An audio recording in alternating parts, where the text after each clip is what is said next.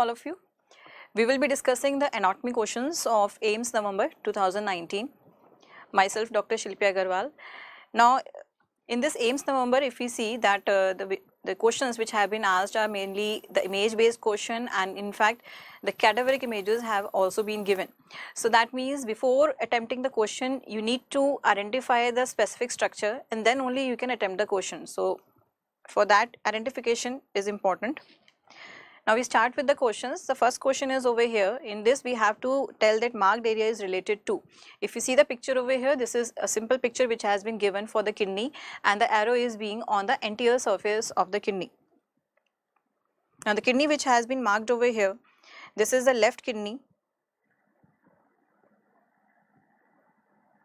This is the left kidney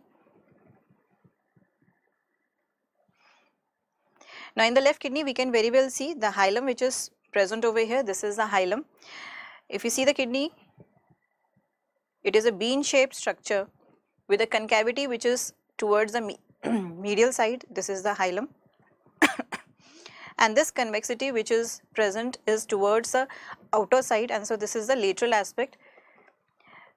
In the hilum the structures they are either entering or exiting the hilum. And over here the three major structures are renal artery, renal vein and the renal pelvis. For the hilum of both the right and the left kidney, the arrangement of the structures from anterior to posterior is VAP. This is the arrangement from anterior to posterior. the most anterior structure is renal vein. Just behind it we have the renal artery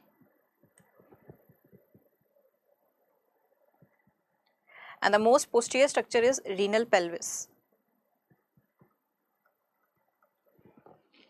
So these are the three structures which are present at the position of the hilum. We can see over here the uh, this neuro, neurovascular structures, the vessels as well as the pelvis, the renal pelvis which is continuing below as the ureter. It is present over here near the hilum towards the medial aspect. Now when we talk about the anterior surface of left kidney over here specifically, for the left kidney, if we draw a schematic diagram, just anterior to the left kidney,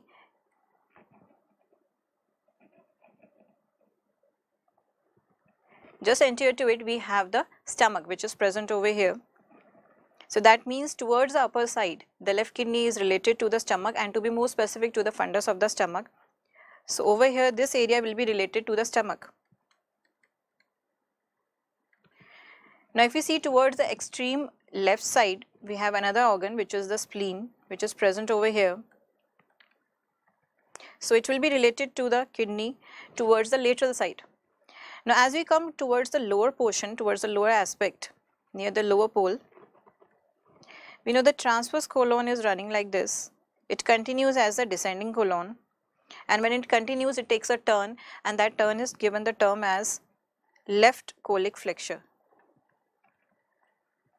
This is the left colic flexure. So the left colic flexure is related to the lower aspect of the left kidney and that too towards the lateral side. Now we have this portion over here, one portion is present over here towards the medial side. Now the intestinal coils they are present over here, the coils are present over here. We know that the intestinal coils are present in the center of the uh, abdomen and to be more specific the jejunal coils will be there. So these are the various visceras which will be related to the anterior aspect of the left kidney from upper side we see the stomach and the spleen and towards the lower side we see the left colic flexure and the jejunal coils. Now towards the most upper aspect or towards the upper pole we already know the upper pole is having this suprarenal gland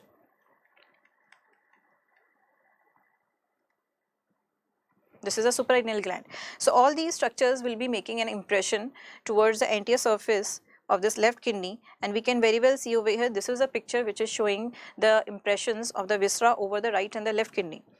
Now for the left kidney which we have just discussed we will just make those impressions towards the upper pole we have discussed the suprarenal gland is related so we will use the term as suprarenal area or the suprarenal impression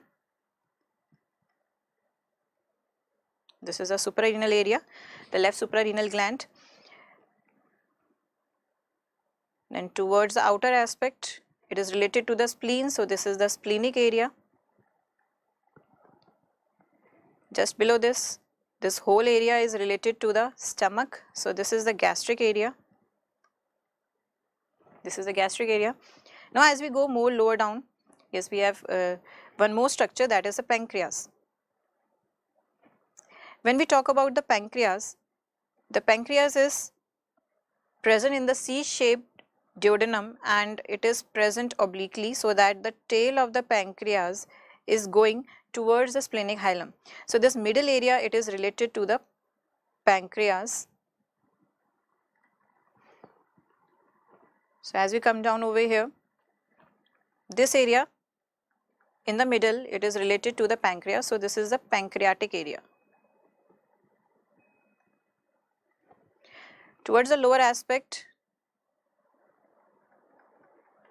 this area is related to the colic, left colic flexure, so it is termed as colic area. And on this side, this is a medial aspect, it is related to the jejunal coil, so this is the jejunal area.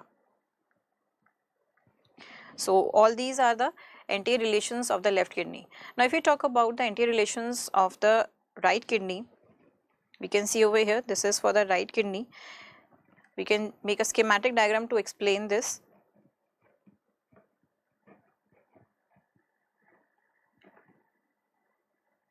Now if this is the right kidney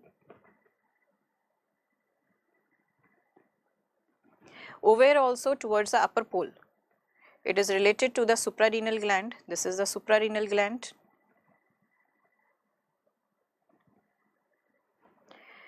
Then we know the kidney on the right side it is lying just posterior to the liver. So, the majority of the portion is related to the liver. Then as we come towards the lower aspect, the right colic flexure, the ascending colon it continues as a transverse colon and this is the right colic flexure which will be related to it. And towards the inner aspect over here the this area will be related to the jejunum or the jejunal coils. Towards the hilum, this area which is near the hilum, it is related to the duodenal loop and to be more specific it is related to the second part of duodenum.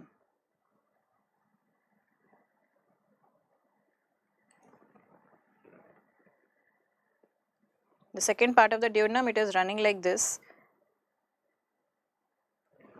so we can see that all these visceras are being related to the anterior aspect of the right kidney that means the suprarenal gland then the liver is there second part of duodenum and towards the lower aspect we have the right colic flexure and the jejunum. Now if you see uh, the picture over here this is for the right kidney. So if you see towards the right kidney this is the suprarenal area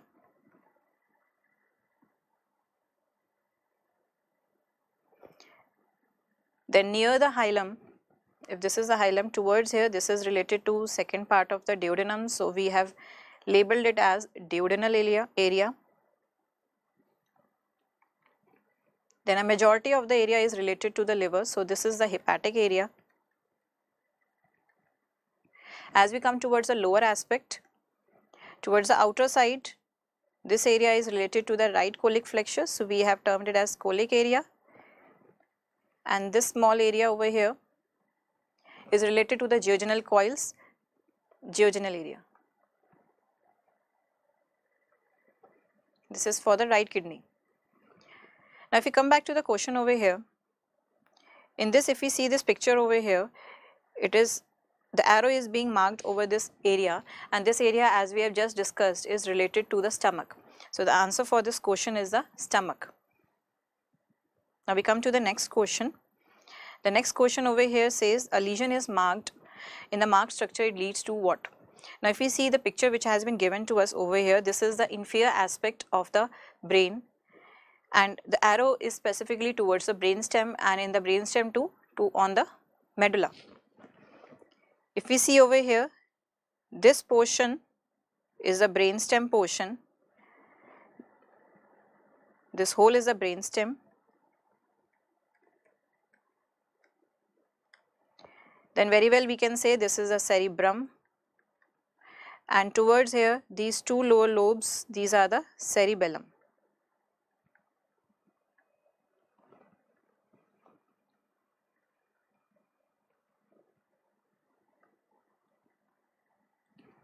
This is a basic identification of this inferior surface of the brain.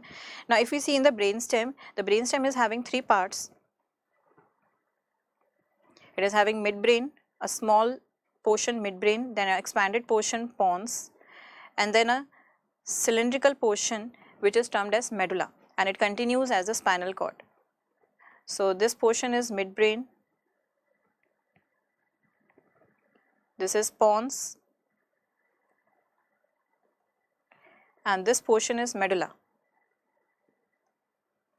If we try to identify it over here, this this is the portion which is the midbrain portion. I will just label it as uh, this is a midbrain. Then as we go lower down, this area is pons and towards this lower area, this is the medulla.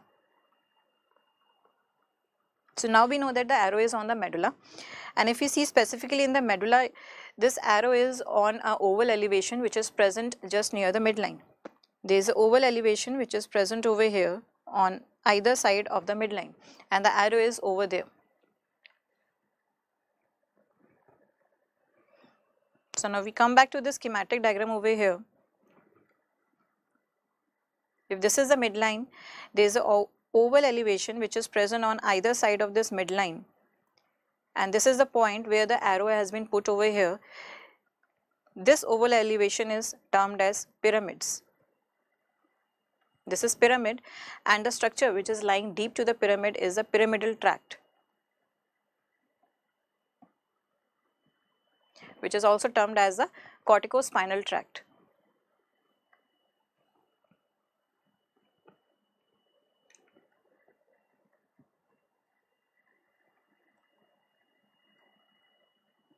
Now this is the point where the pyramidal tract they cross to the other side and over here it is creating this elevation and that is why it is given the term as the pyramids. Now if we go more lateral to the pyramids, there are elevations on either side of this pyramid and these elevations they are termed as the olive. This is olive and the olive elevation is due to the olivary nucleus which is lying deep to it. As we go more lateral to it, this area which is more lateral to it, it is the inferior cerebellar peduncle.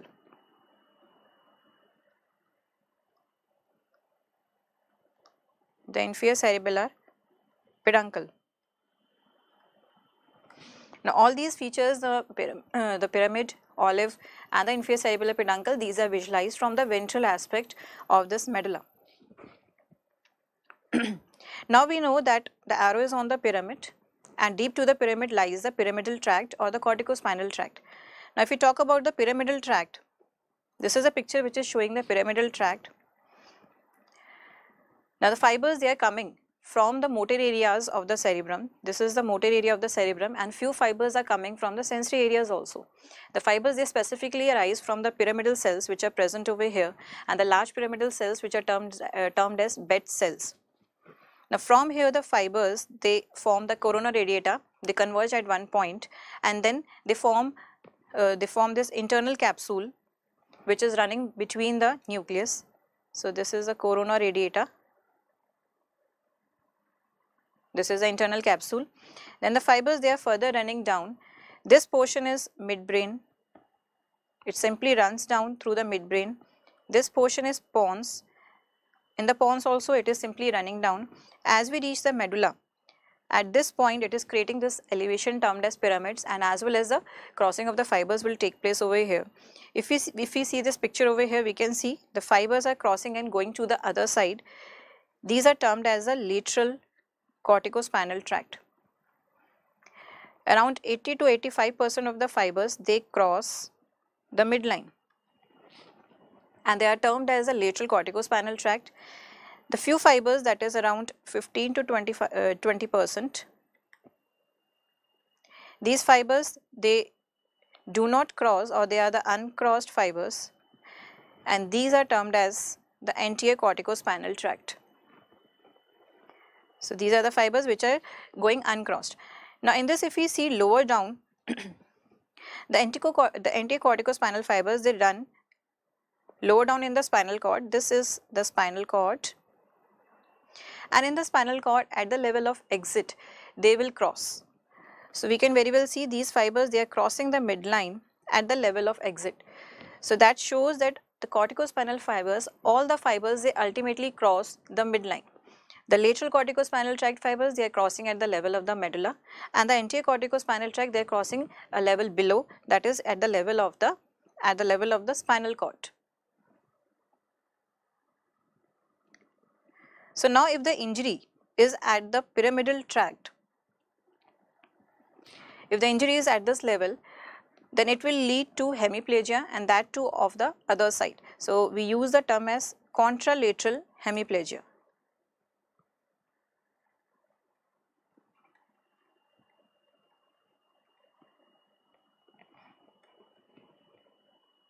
So, if we come back to the question, the lesion in the marked structure leads to answer is option D that is the contralateral hemiplegia. If you see the rest of the options the ataxia and the vertigo these are due to uh, uh, these are the symptoms which are seen in the lateral medullary syndromes and if we talk about the ipsilateral facial nerve palsy these are the lower motor neuron lower motor neuron facial palsy the facial nerve palsy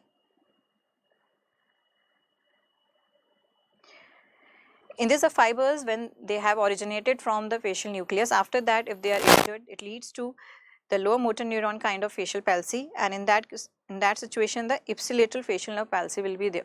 And the course for that nerve is totally different. It is traversing through the uh, the petrous part of temporal bone that it is related to the inner ear middle ear and then it comes out from the stylomastoid foramen over here and it enters the face. So the course is altogether the different altogether different. And over here the answer for this question is con contralateral hemiplegia.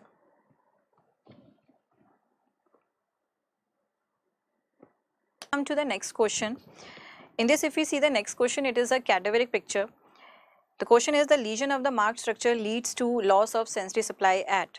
Now in this first of all we should be able to identify the structure and then we will be able to answer the, according to the options. Now if we see the cadaveric picture over here, this is a cadaveric picture of the cubital fossa of the upper limb.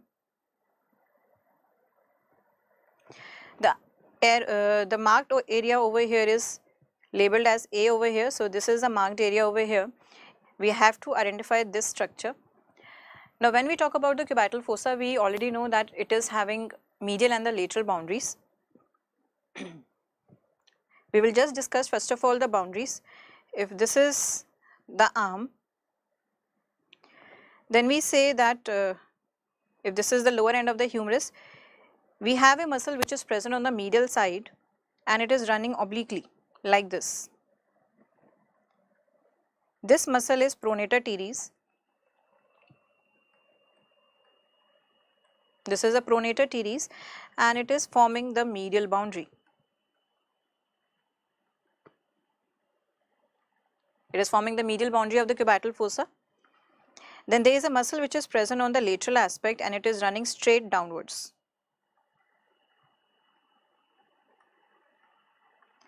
This muscle is the brachioradialis muscle.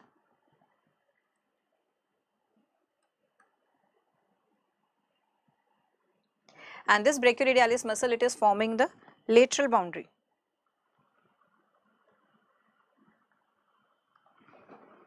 So, now we know that the muscle which is present on the medial side is pronator teres and the muscle which is present on the lateral side is the brachioradialis. And if we see in the arm over here, this medial sided muscle it is crossing the forearm from medial to the lateral side like this. So, it is running obliquely and the muscle on the lateral side it is going straight downwards.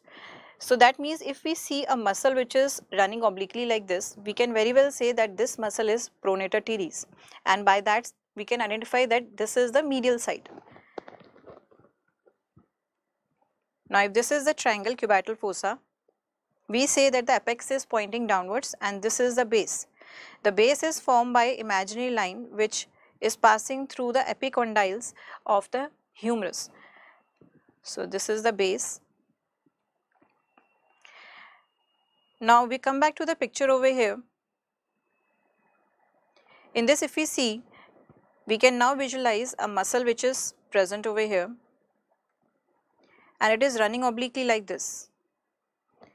This muscle which is running obliquely over here, this is the pronator teres. This is the pronator teres and that shows that this is the medial aspect. So, we will just write medial side. This is the medial side, this is the lateral side. Now, we have identified the pronator teres. After that, if we see the muscle which is running straight downwards like this, this muscle is brachioradialis.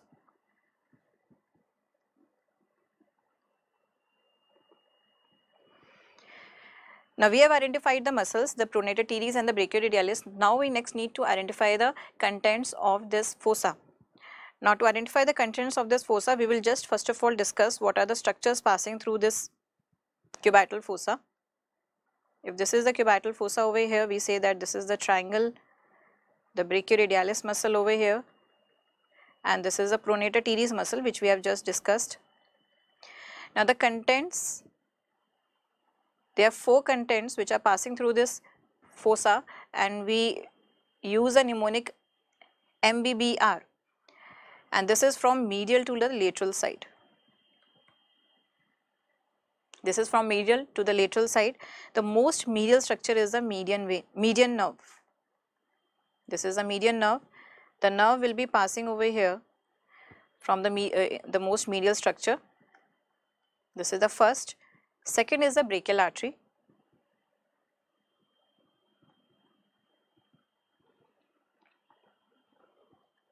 The brachial artery is running lateral to the median nerve and in the fossa only it divides into the radial and the ulnar artery. So, this is the second structure. The third structure is biceps tendon. So, the tendon of biceps The tendon of the biceps, the muscle which is coming from above, it forms a tendon over here which is lying lateral to this brachial artery. So, this is the third structure, the tendon of the biceps and then as we go most laterally, the most laterally we find a nerve which is present over here. This is the fourth structure and this is a branch of the radial nerve.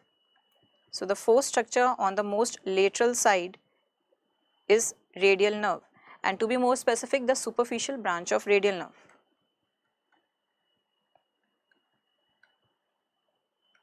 The superficial branch of the radial nerve. So, from medial to lateral side we have these four structures the median nerve, brachial artery, the tendon of the biceps and the most lateral is the radial nerve, the superficial branch. Now, if we come back to the picture over here,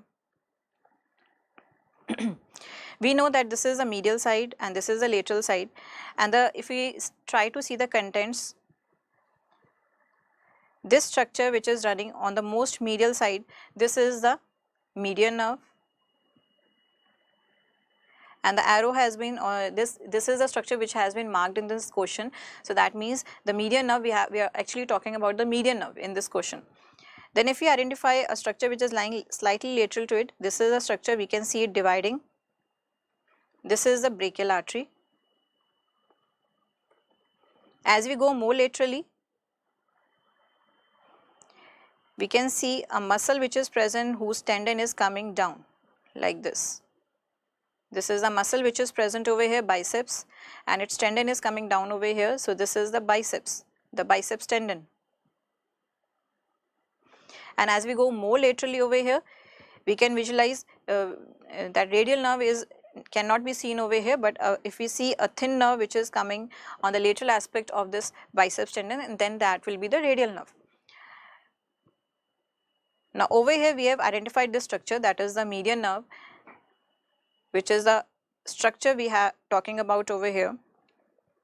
We will just see one more cadaveric picture so that you are able to identify all the structures which are forming the contents. If you again see over here, the muscle which is present on this side is pronator teres. We have already discussed this muscle going lower down is brachioradialis.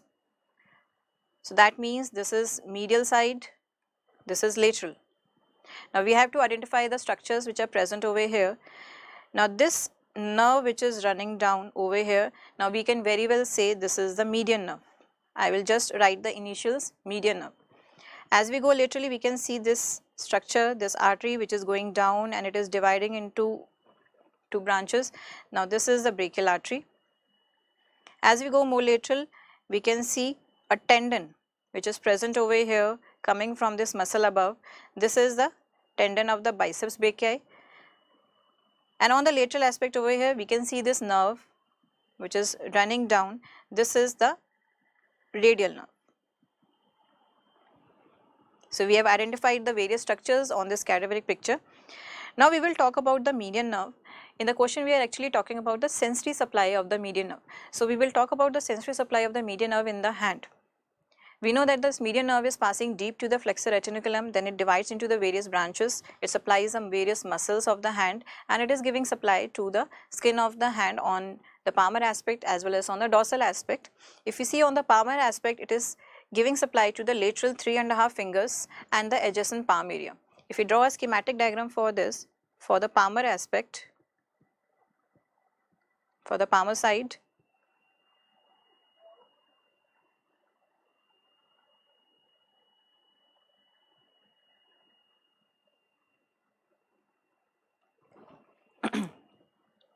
we have just said the lateral three and a half area and the adjacent palm area, this is completely supplied by the median nerve. So, this whole area is being supplied by the median nerve. So, this is for by the median nerve and the rest of the area that is towards the medial side the one and a half fingers and the adjacent palm area it will be supplied by the ulnar nerve. So, this area the rest of the area over here this is supplied by the ulnar.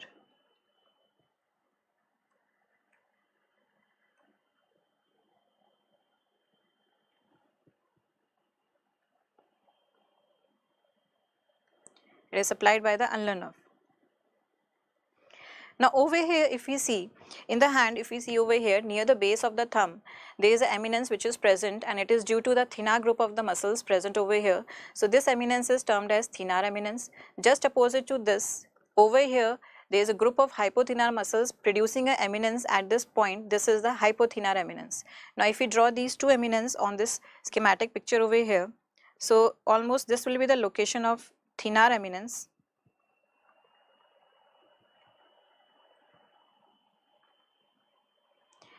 and the hypothenar eminence will be present over here.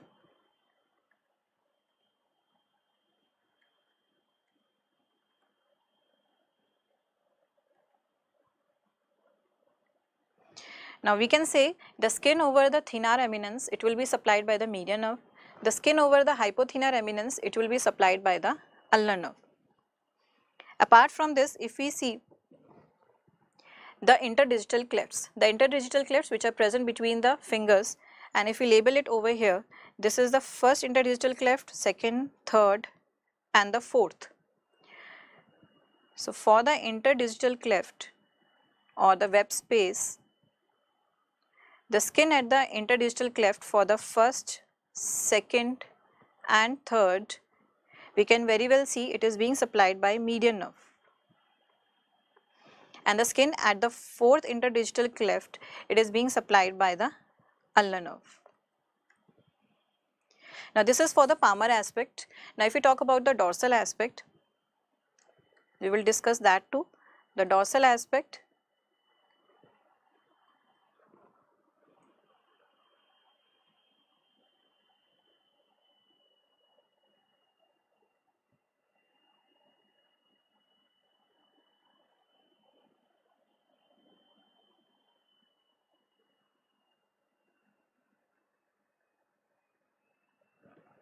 Now when we talk about the dorsal aspect, we have the nail beds which are present over here. In this, the lateral three and uh, the medial three and a half fingers along with the adjacent hand area is again supplied by the ulnar nerve and it includes the nail beds of the, these fingers also. So this area same it is supplied by ulnar nerve. When we talk about the nail beds of rest of fingers, the nail beds of lateral three and a half fingers, it is supplied by the median nerve. So, this blue colored area is by median nerve and the rest of the area, the rest of the fingers along with the adjacent hand area, it is being supplied by the radial nerve. So, all this area, it is being supplied by the radial nerve.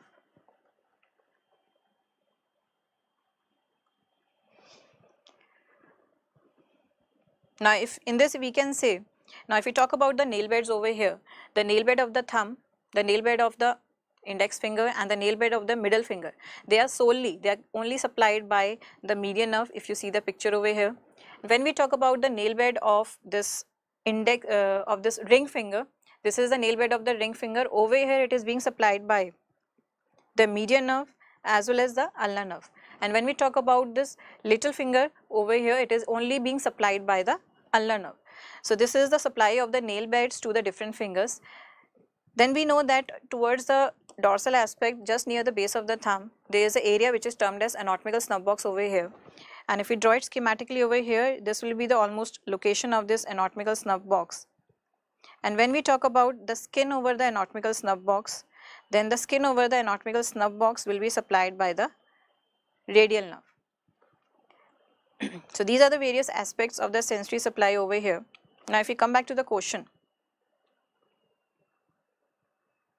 if we come back to the question, the question is a lesion of the marked structure that is the median nerve. It leads to a sensory loss of the nail bed of the index finger. Yes, this is correct. The skin of the hypothenar eminence, this is wrong because it is being supplied by the ulnar nerve. The fourth interdigital cleft we have just talked about it is supplied by ulnar nerve. The tip of the little finger again it is supplied by the ulnar nerve. So, the answer for this question is nail bed of the index finger. Now, in this uh, few students have said that the one of the option was tip of the, rad, the radius or uh, they are not able to define the complete option. Now, the tip of the radial styloid process can be asked.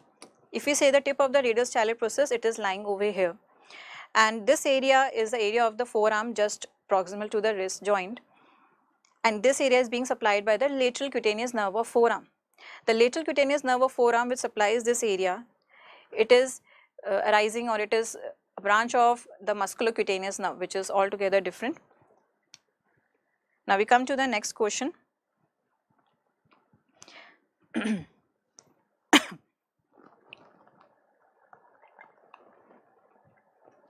Now in this question you have to identify the marked layer in the given image. Over here this area has been marked.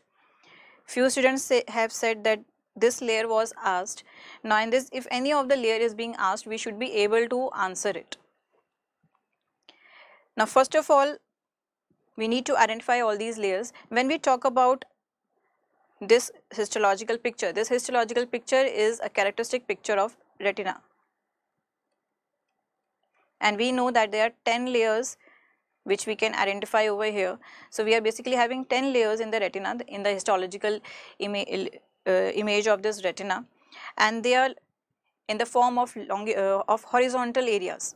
Now, when you see the histological image of this retina, you can see the horizontal appearances of this you can see one horizontal area is there, one, another horizontal area, another horizontal. So, they appear like in the form of layers.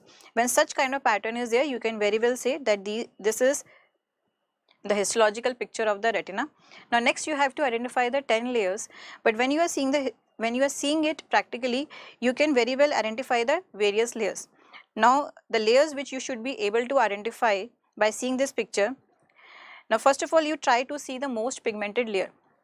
Now you can see this is a layer which has which is the most pigmented layer which we can see over here. And this is actually the pigment layer or the pigment epithelium which is present in the retina and it is just adjacent to the choroid. So the layer which is present over here this is the choroid and this is the pigment layer.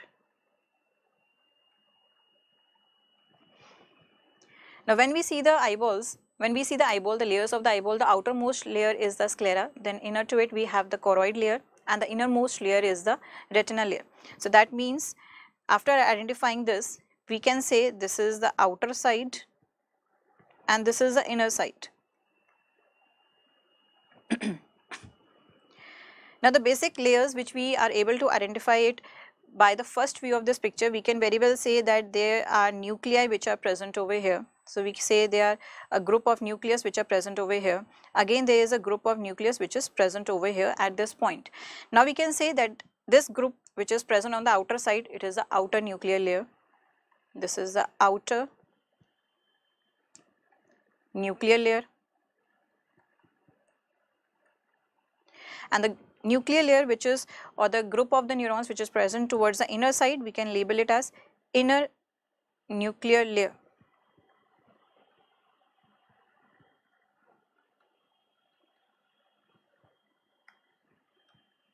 This is the inner nuclear layer.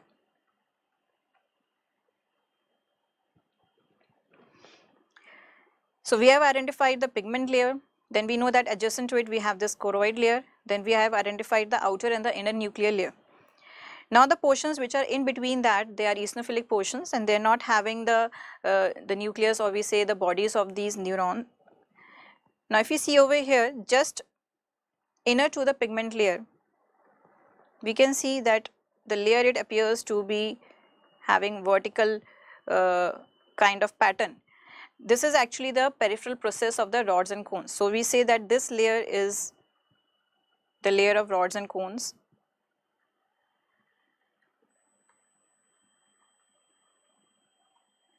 It is a layer of the rods and cones and it is basically the peripheral process which are present over here. Now when we see this layer which is present between the outer and the inner nuclear layer, over here we can see the fibers they are present and they are actually this layer is actually the synapsing of the axons and the dendrites and we use the term as a plexiform layer. Again just inner to this inner nuclear layer this is also a plexiform layer. So, we have labeled it as this is the outer plexiform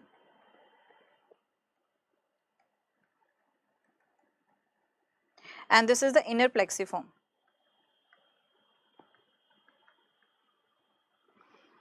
As we go more inner to it, we can again visualize neuronal bodies over here which are larger and they are uh, sparsely, uh, they are placed slightly uh, on a distance. This is the ganglion cells and this layer is termed as ganglionic cell layer.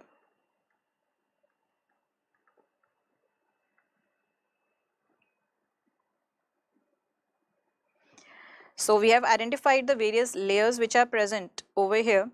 Now, when we talk about the pigment layer, this is a layer uh, which is having a cuboidal epithelium and it is filled with the melanin. So, it is, it is showing more pigmented kind of appearance when we see under the microscope.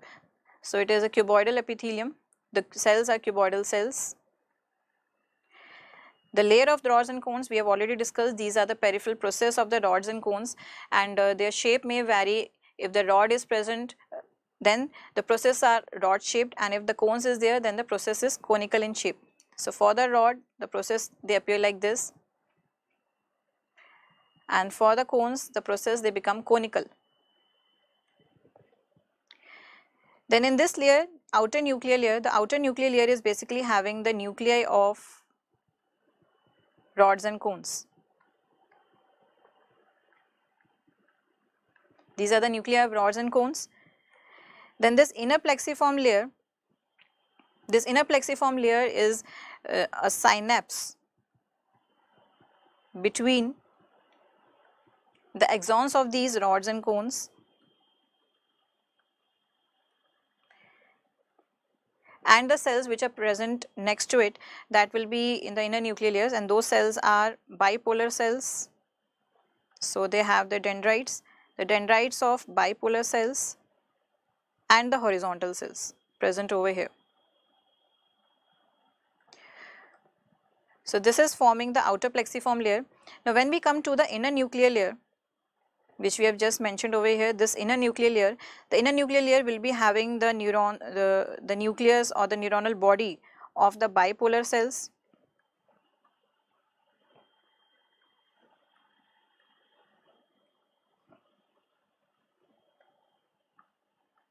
the bipolar cells are there. Apart from the bipolar cells, we have the horizontal cells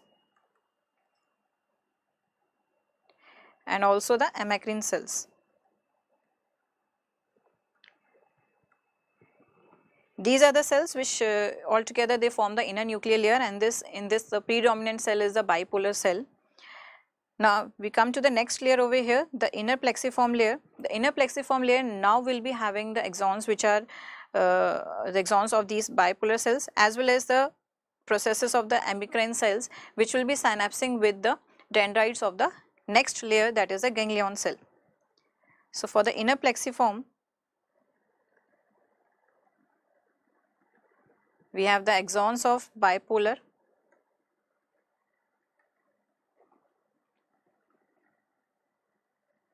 the synapse of axons of bipolar cells with dendrites of ganglion cells.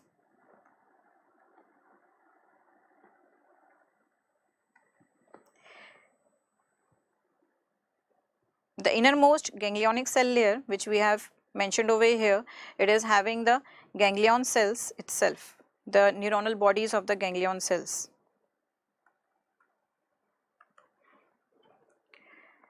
Now these are the few layers which we have discussed which we can visualize over here. When we talk about the complete 10 layers, now this is the same image but this is a schematic picture. This is a pigmented layer which we can see over here. So we can say this is a pigment layer. I am writing the initials only. Then this was the choroid which we have mentioned and outer to it we have this sclera. So this is the outer side.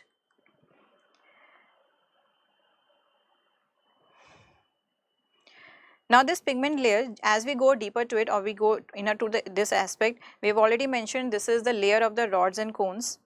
So layer of rods and cone which we have already discussed. After this layer comes the a limiting layer which is termed as external limiting layer.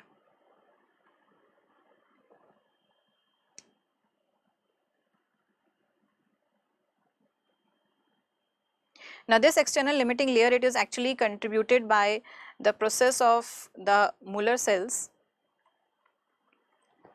The process of the Muller cells, the Muller cells are the supporting cells which are present in the retina and it is present throughout the layers of the retina. The processes which are reaching over here to this side they are forming a zonula, uh, the zonula uh, occludens with the uh, with the nuclei of the rods and cones and it leads to the formation of this external limiting layer. This external limiting layer it is present like this over here. Now the next layer which we have already discussed is outer nuclear layer. This is outer nuclear, this is outer plexiform, this is inner nuclear and this is inner plexiform already discussed. Then we have this ganglionic cell layer.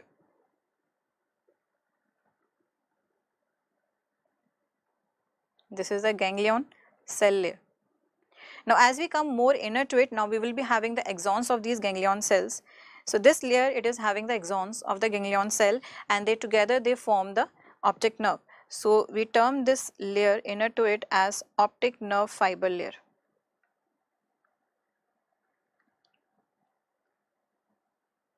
Now just inner to the optic nerve fiber layer at this point this is now another limiting membrane but because it is towards the inner side now we label it as internal limiting layer or the membrane.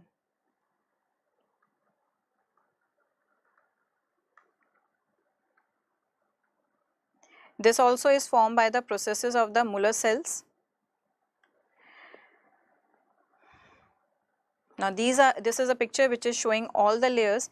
And if we start counting from outer to the inner side the first layer is this pigment layer, second is the layer of rods and cones, the third is the external limiting layer, fourth is outer nuclear, then we have outer plexiform, inner nuclear, inner plexiform, ganglion cell layer, the optic nerve fiber layer and the 10th layer is inner internal limiting membrane.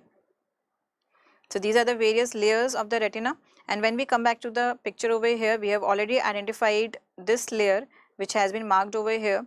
This is the outer plexiform layer. This is the outer plexiform layer. So, the answer for this question is this outer plexiform. Now, we come to the next question. The next question is that uh, the arrow mark muscle is being supplied by. Now, if you see this picture over here, this is a coronal section. This is a coronal section of the head and neck going like this. And if we see over here, we can uh, on the upper portion, we can see this is the brain or the cerebrum present over here. Then this is a section of the orbit which will be having the eyeball and around this we are having the orbital uh, fascia and the orbital fat in which the muscles are present. This area is the nasal cavity. In the nasal cavity we can see the projections which are going towards the medial side. These projections are the concha. So, if we specifically see over here this one is a nasal septum and these projections are the concha.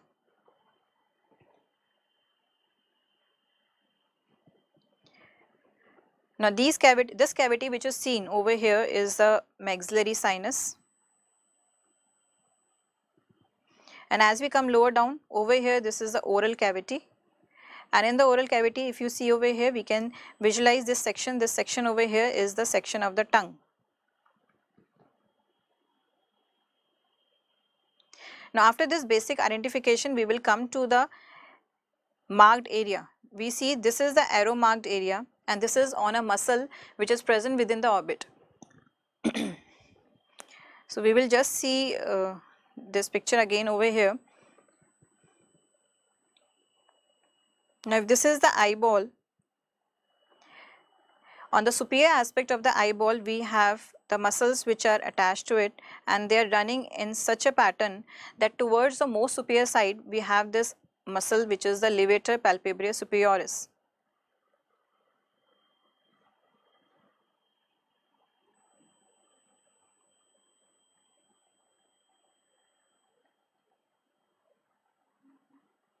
This is the levator palpebrae superioris which is for the elevation of the upper eyelid and this is the muscle which is present on the most superior aspect when you view the eyeball or the orbit from the superior side.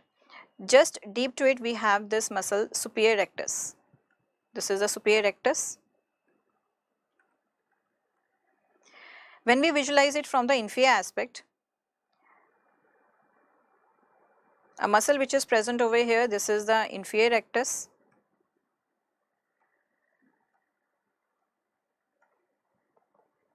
and as we go more inferiorly over here this is the inferior oblique.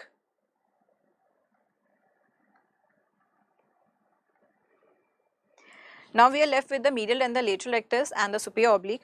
If this is the medial side over here, if this is the medial side over here or we will make the medial side uh, we will make it corresponding to this picture. So, we will draw the medial side over here. On the medial side, we have this muscle which is medial rectus. Just above the medial rectus, there is a muscle which is superior oblique.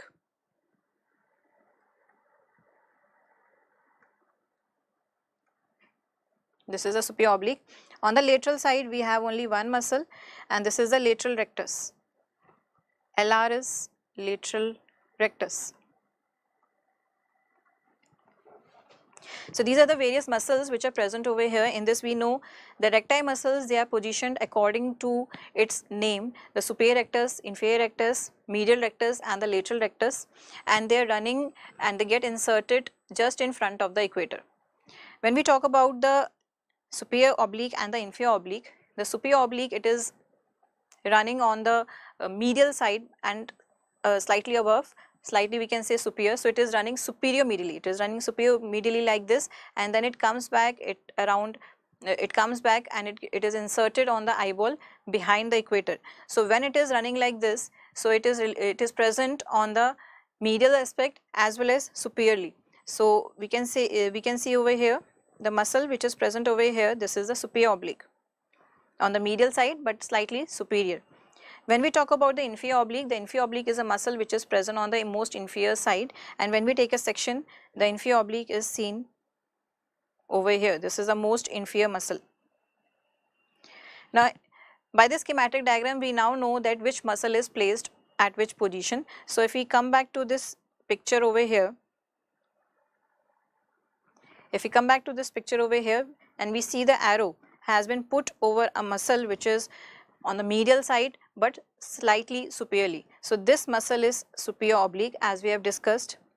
Just inferior to this, this muscle present medially, this is medial rectus, this is lateral rectus. If we see on the superiormost side, we have two muscle sections. The upper one is LPS as we have discussed, the lower one is superior rectus. Inferiorly again we will have two muscle sections, this will be the inferior rectus and this will be the inferior oblique. So now we can see the muscle which has been marked is superior oblique. So the muscle which is being marked over here, this muscle which is marked over here, this one is the superior oblique muscle. Now when we talk about the nerve supply of these extraocular muscles,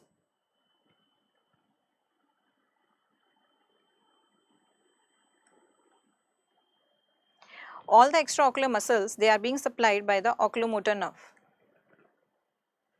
They all are supplied by oculomotor nerve which is the third cranial nerve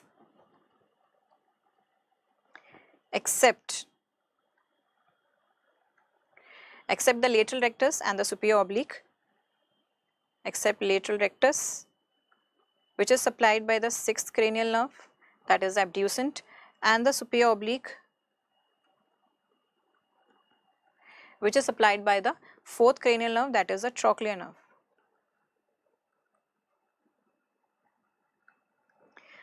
So, we can say this superior oblique which we have identified over here is being supplied by the fourth cranial nerve that is the trochlear nerve and if you come back to the question over here the answer for this question will become trochlear nerve that is B.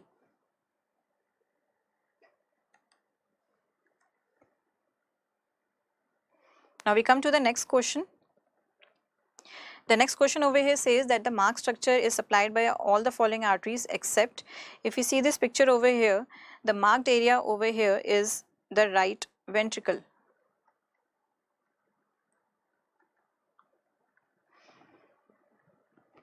Now if you see this portion, if we see over here, this portion is the right atrium then this whole area is right ventricle as being labeled over here and the portion which is present on the left side and going till the apex region this is the left ventricle.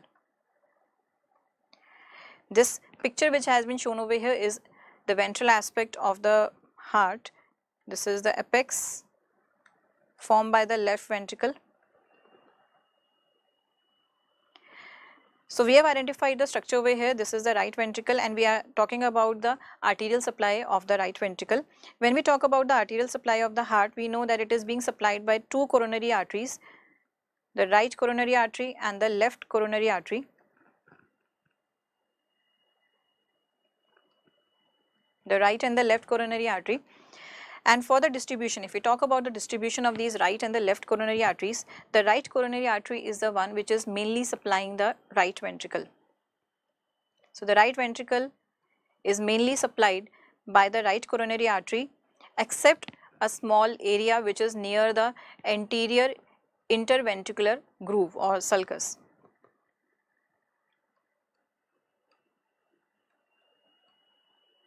except a small portion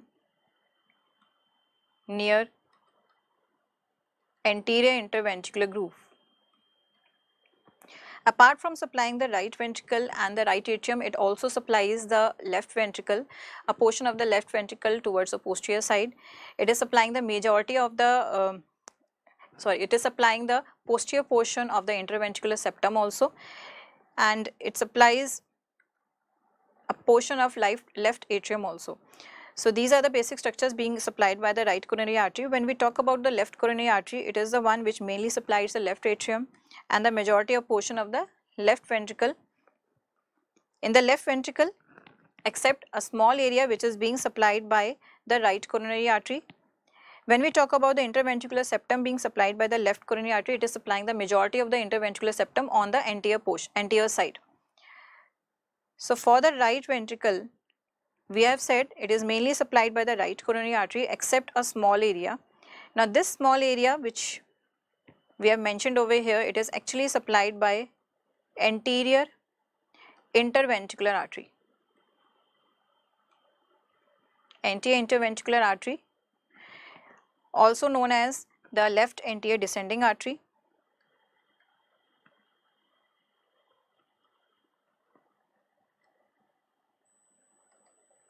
This anterior interventricular or the left anterior descending artery is a branch of left coronary artery. Now when we come back to the options over here, this right ventricle is supplied by all arteries except now we know the right coronary artery is supplying it then this inter, anterior interventricular artery so we can say the interventricular branch because over here it is not mentioned. If it is specifically mentioned then it will be the anterior interventricular branch. Then we see the rest of the options. The marginal artery the right marginal artery which is a branch of the right coronary artery it is also supplying this right ventricle. Now this option the diagonal artery, the diagonal artery is a branch of the left coronary artery. So, it is in no way supplying the right ventricle. And the answer for this question will be the diagonal artery. The diagonal artery, it is a branch of left coronary artery. So, it will not be supplying the right ventricle. Now, in this uh, the option A is given as marginal artery. The marginal artery can be of the right side or it can be of the left side. If the marginal artery is of the right side, it is a branch of the right coronary artery. The marginal artery towards the left side is a branch of left coronary artery.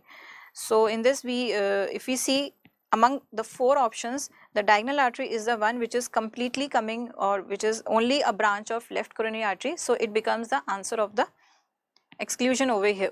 So, the answer for this question is diagonal artery. Now, the next question over here is which structure does not contribute to the pointed structure over here. If we see, now this is a picture, cadaveric picture which is towards the posterior aspect or the dorsal aspect of the hand over here and the muscles which will be present over here will be the extensor muscles. The extensor muscles they come towards the digits towards the dorsal side and uh, when it comes over here and it is inserting on the phalanx over here it forms a certain kind of extension which is given the term as dorsal digital expansion. This dorsal digital expansion is triangular in shape and it is mainly contributed by the extensor digitorum and also by the extensor pollicis longus.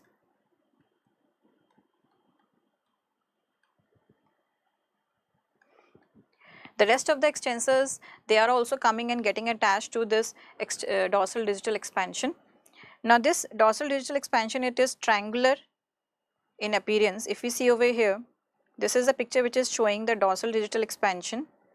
It is triangular like this and we can say the apex is towards the distal side, the apex is towards the distal side and the base of this triangle or this expansion is towards the uh, towards the metacarpals or towards we can say uh, if we talk about the base over here this is the base the base is towards the head of the metacarpals and the apex is going and getting attached to the phalanx. Now when we go towards the apex, this expansion it is having a medial portion. This is the medial portion and we have a lateral portion which goes and gets united and it goes still distal. So the middle portion or the median portion it is get, getting attached to the middle phalanx and the rest of the portion which is going on the lateral aspects it fuses and it is attached to the distal phalanx over here. So, the attachments of the apex of this expansion is on the middle as well as on the distal phalanx. Now, on this dorsal digital expansion apart from the extensor muscles there is attachment of the palmar and the dorsal interosseous as well as the lumbricals. Now, over in this picture we can see these lumbrical and the interosseous muscles they are getting attached to it the lumbrical and the interosseous which has been shown over here, this is the lumbrical and this is one of the interosseous muscle. This is attached to the lateral aspect of this digitation and one interossei muscle is attached to the medial aspect. So, we can see the lumbricals are always attached to the lateral aspect of this dorsal digitation. Now, what we have to tell uh, next is that which lumbrical is inserted where and which interossei are inserted to or attached to which dorsal digital expansion. Now, this is a picture showing the lumbricals. This is the first lumbrical, second, this one is third and this one is the fourth. These are the four lumbricals which have been shown over here and if we see for all the four lumbricals they are taking origin from this flexor digitorum profundus tendon and all the muscles they are running on the lateral aspects of the fingers and they go laterally and they go slightly posteriorly to get attached to the uh, this expansion. So, we can say all the lumbricals all are attached to lateral margin of this expansion. And if you see the first lumbrical is attached to the second expansion, the second lumbrical is attached to the third expansion, the third one is attached to the fourth expansion on the fourth finger and the fourth one is attached to the fifth expansion. If we see the dorsal digital expansion which will be present over the thumb, it is getting no attachment from the lumbricals. Now we come to the next. This is a picture which is showing the palmar interossei. The palmar interossei 4 in number and if we see their attachments, we can very well see there is no attachment of the palmar interossei on the middle finger. This is the middle finger.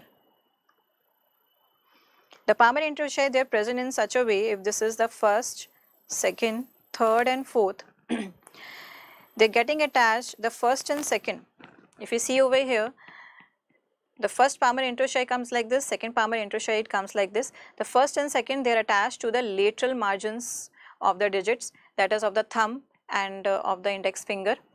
When we see for the third and fourth, the third and fourth they are attached to the medial margins of this uh, ring finger and the little finger.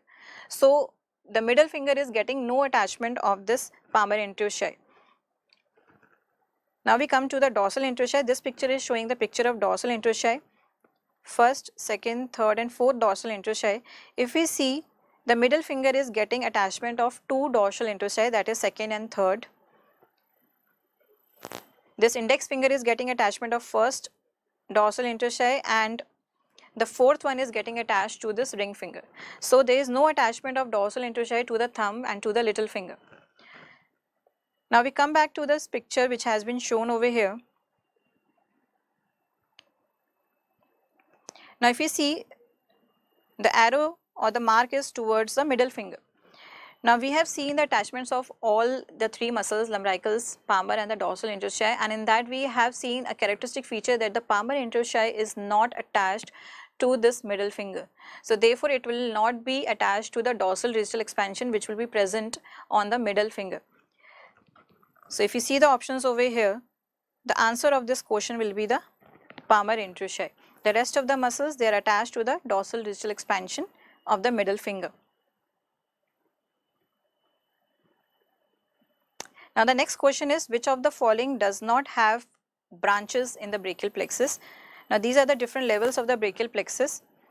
If you see over here in this picture over here, we have the roots from C5 to T1 which lead to the formation of the brachial plexus. These are the roots portion.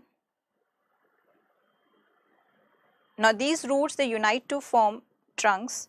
This is the trunk portion upper trunk, middle trunk and the lower trunk.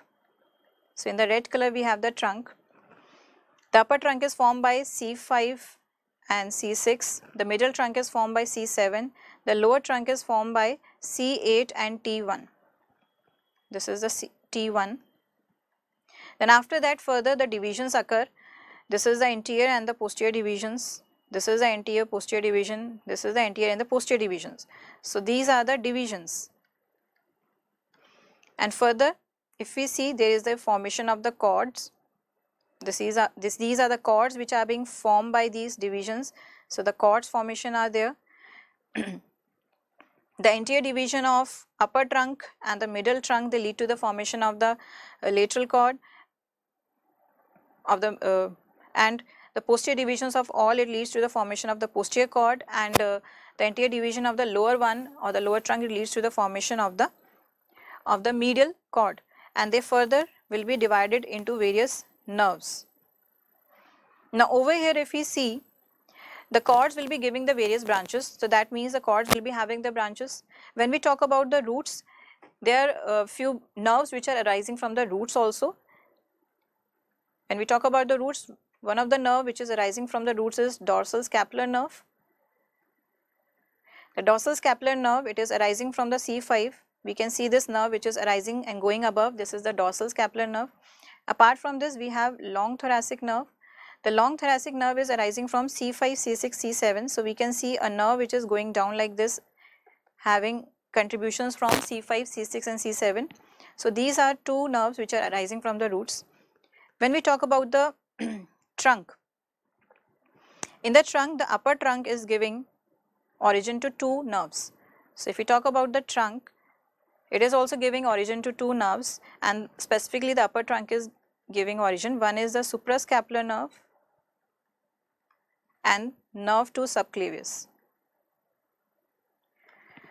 So hereby we can see only portion which is not giving any branches is divisions. So the question for uh, the answer for this question will be divisions. It is the only portion which is not giving any branches.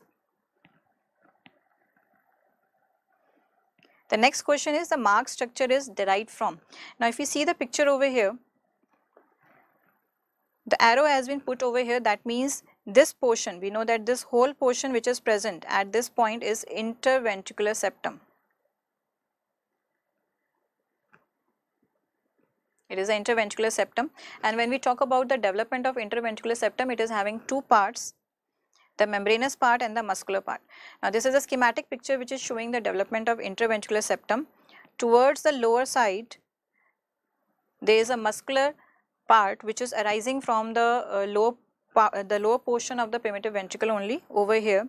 So this portion, this whole portion is the muscular part and this is the major part which is being contributed to the interventricular septum. Now there is a space which is present over here this area. This is a gap which is present and a communication between the right and the left ventricle this is termed as interventricular foramen. This is present initially and later on it is filled by uh, a component of the interventricular septum which is the membranous part. So in the next picture we can see there is a membrane which fills over here this is the membranous part of interventricular septum and this membranous part it is actually arising from endocardial cushions which are present over here. These are over here we can see this is again the endocardial cushion the AV endocardial cushions. So the growth occurs from here. It leads to the formation of the membranous septum membranous part and it fills up the interventricular foramen and it leads to a complete formation of the interventricular septum. So, the interventricular septum one part is the muscular part another is the membranous part. Now, the if you see the picture over here the arrow is towards the upper towards the upper part of this interventricular septum. So, that means it is on the membranous part and we have just discussed the membranous part is developed from the endocardial cushions. So, the answer for this question will be A that is the endocardial cushion. When we talk about the interatrial septum, the interatrial septum is being formed by the septum primum and the septum secundum. Now we come to the next question. In this next question, we have to identify the marked structure over here. Again, this is a cadaveric picture dissection cadaveric dissection picture and this is the picture at the level of the wrist. Now when we talk about the structures which are present at the level of the wrist, the vessels which are vessels as well as the nerves which are present over here. In the central part over here we have a nerve, median nerve which runs deep to the flexor retinaculum and it reaches towards the palm. So the central most structure over here, this nerve which is shown over here, this is the median nerve which is further going and dividing into the various branches. As we see, this is the lateral side and this is the medial side. We can very well see the thumb is present over here. So, lateral and the medial side.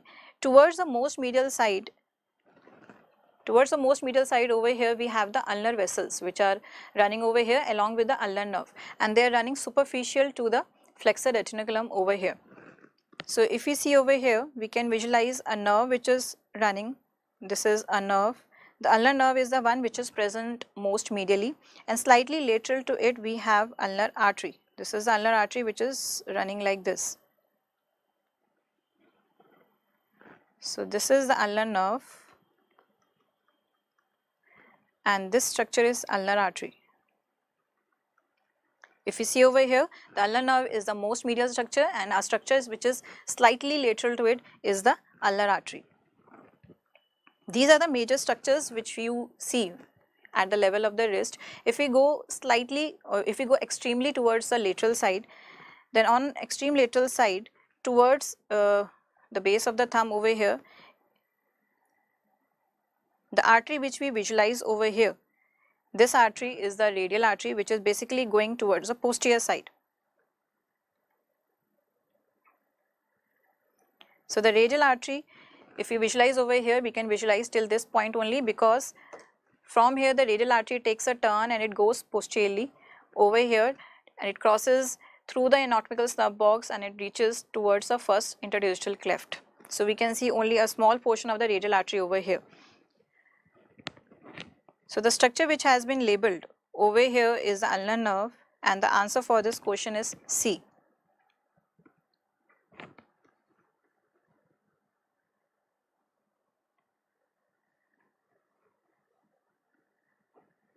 Now, the next question over here is the blood supply of the marked structure over here. If we see that this is a, is, is a sagittal section of brain in which we are able to visualize the medial part of the cerebrum. Now, if you see the various structures which are present over here, this C-shaped structure is corpus callosum.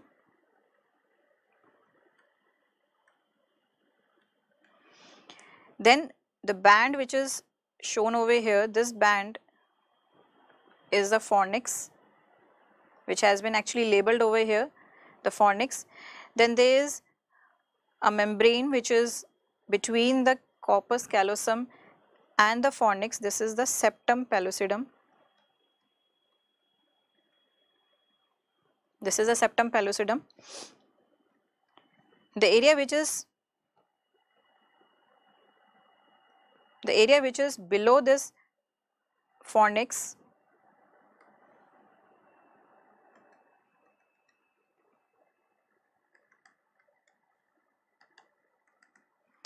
The area which is below this fornix, I will mark it with a black color.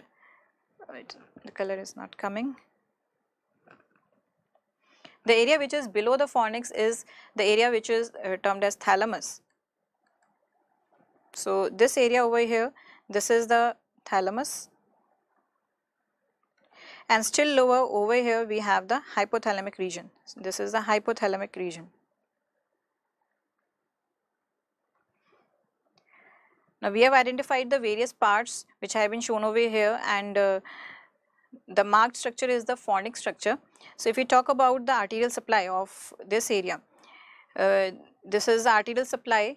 We know that the brain over here or the cerebrum is being supplied by three arteries that is anterior, middle and the posterior cerebral arteries in which anterior and the middle the anterior and the middle they are the branches of internal carotid artery and the posterior cerebral artery it is a branch of or it is a terminal branch of basilar artery. Now when we see its supply on the superior lateral side and the medial side, this is the superior lateral aspect and this is the medial aspect. On the superior lateral aspect, the majority of the area is being supplied by the middle cerebral artery because this middle cerebral artery is running in the lateral sulcus over here. A small portion is being supplied from the frontal pole till this part by the anterior cerebral artery and the rest of the portion is by the posterior cerebral artery. Now when we come towards the middle medial side, this is the portion which is showing the medial side. In this we can very well see the majority of the supply is by the anterior cerebral artery. This is the anterior cerebral artery which is supplying it towards the posterior pole or we can say towards the occipital lobe. This area is being supplied by the posterior cerebral artery and only a very small portion being supplied by the middle cerebral artery. Now over here the branches of anterior cerebral and the posterior cerebral arteries are the one which will be supplying uh, the structures which are lying in between that is the structures which are present over here. Now when we talk about the fornix, when we talk about the fornix, the fornix, if this is the fornix, it is basically the projection fibers which are projecting from the hippocampus which is present slightly posterior and inferior side and the projection fibers are going anteriorly towards the mammillary body. So, the projection fibers from hippocampus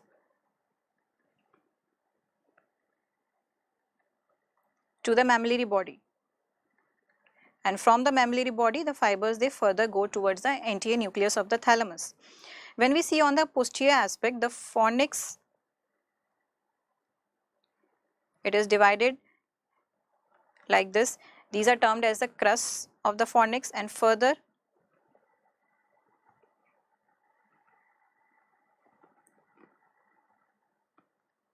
further it is termed as fimbria this is towards the posterior side. In between the crus, we have these connections which are termed as habenular commissure, sorry, hippocampal commissure.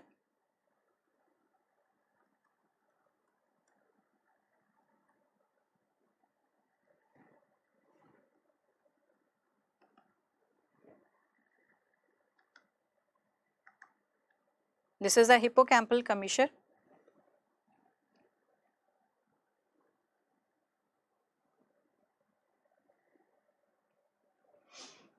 Towards the anterior side, again this fornix is divided into columns. These are the columns of fornix. So, this is the anterior aspect, this is a posterior aspect. This columns, these are the two columns which are going anteriorly and they cross anterior to or in front of the interventricular foramen and it goes downward towards the mammillary body. Now, when we talk about the blood supply of this, in, in this according to the new edition of the Grays, the columns of the fornix, these are being supplied by the anterior cerebral artery and the rest of the portion of the fornix is being supplied by the branches of the posterior cerebral artery.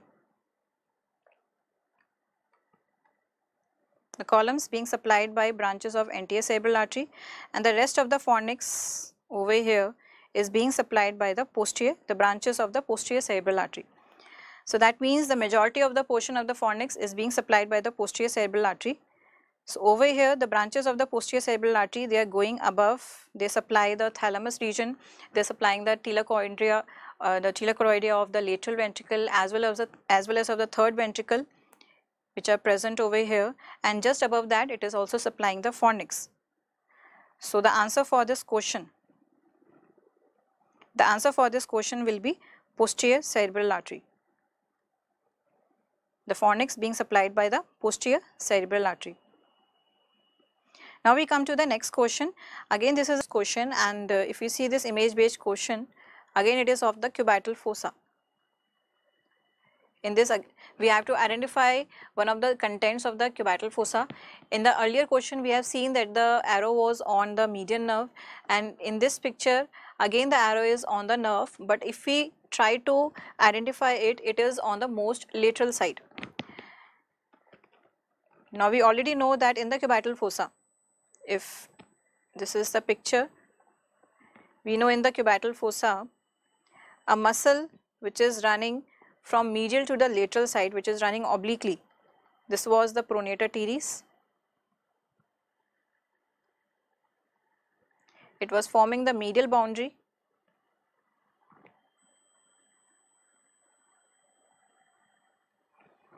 So that means this is the medial side and this is the lateral side. The muscle which goes straight downwards, this is the brachioradialis.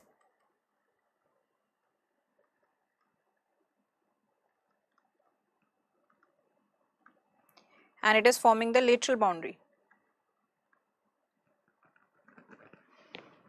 Now the contents of this cubital fossa over here we already know it is MBBR from medial to the lateral side.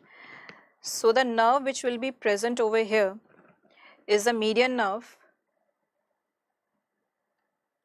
This is the median nerve.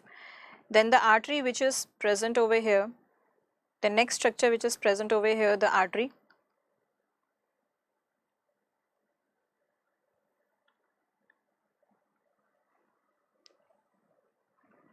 This is the brachial artery. The brachial artery will be seen dividing into the radial and the ulnar. Then we have the tendon of a muscle present over here and this tendon is of biceps muscle. So, biceps tendon and as we go more laterally we will have a branch of radial nerve to be more specific the superficial branch of radial nerve. the superficial branch of radial nerve.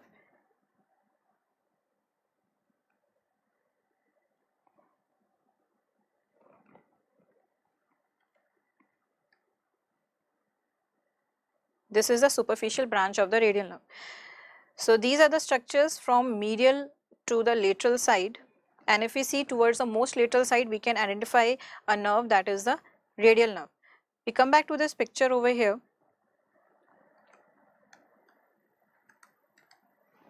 Now if you see this picture over here the arrow is marked A and the arrow is on a nerve. This is the arrow, the marked structure.